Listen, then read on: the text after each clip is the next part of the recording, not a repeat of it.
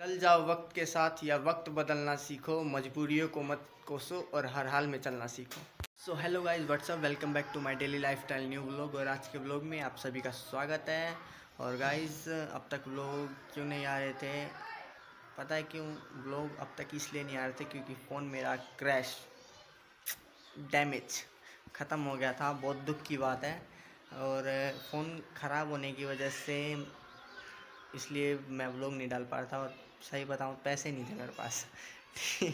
ठीक करवाने के लिए पैसे नहीं थे, इसलिए वो लोग नहीं आ पा रहा था तो सॉरी इसके लिए। और गाइस आप मुझे भूले तो नहीं होगे, आशा करता हूँ। तो please support me support me support करना। और आज का व्लॉग मैं बताऊँ तो मैं जा रहा हूँ गोरखपुर, और जो कुछ देखूँगा व्लॉग में दिखाऊँगा। तो वीडियो को पूरा देखें। ठीक है अभी मैं नहाने जा रहा हूँ। मिलते हैं थोड़ी देर में। चलो भाई देखो अब मैं क्या करता हूँ। सो so गाइज़ आप देख सकते हैं अभी हम बैठ गए हैं ट्रेन में और जा रहे हैं गोरखपुर के लिए रवाना हो चुके हैं। और देखते रहें हमारे साथ बने रहें।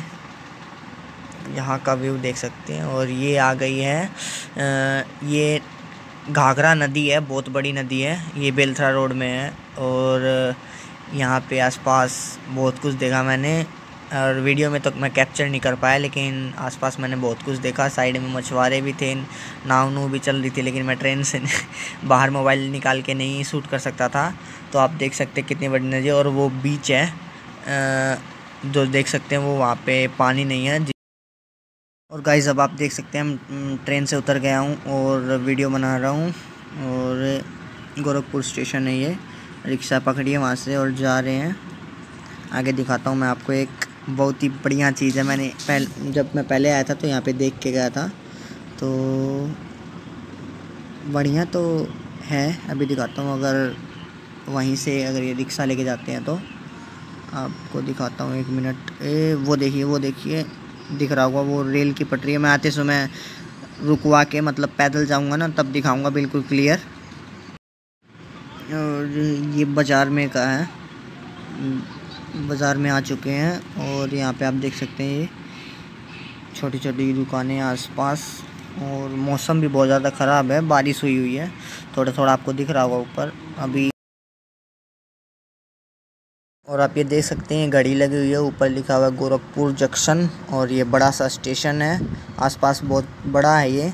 उस साइड भी है। दिख रहा होगा, ऊपर लिखा जुबा केसरी।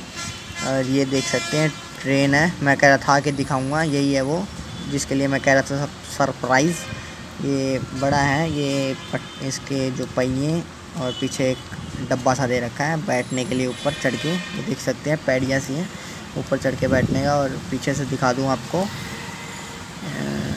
पीछे से देखिए हाँ ये छोटे छोटे लगा रखे हैं, बस वैसे ही दिखाने के लिए। अब हम आ चुके हैं घर पे, और बड़ी थकान हो गई यार। और वैसे देख के भी मज़ा आया, बहुत कुछ देखा वहाँ पे। और please like share and subscribe और कमेंट भी कर देना यार, ठीक है? अगर वीडियो अच्छी लगी तो कमेंट करना और लाइक भी तभी करना अगर अच्छी लगी वीडियो और सब्सक्राइब प्लीज़ और ज़्यादा से ज़्यादा शेयर करो, थोड़ा मेरे चैनल को ग्रो करो यार। बाकी आपके ऊपर है। अगर आप साथ देंगे तो हम बढ़ेंगे वरना कोई दिक्कत नहीं है। ठीक है गाइज़ मिलते हैं नेक्स्ट व्लॉग में। जल्दी नेक्स्ट व्लॉग भी डालेंगे और कुछ शॉर्ट वीडियो भी डालूँगा मैं। तो शॉर्ट वीडियो को भी देखते रहना। आप उनमें भी कुछ ना कुछ दिखेगा ही।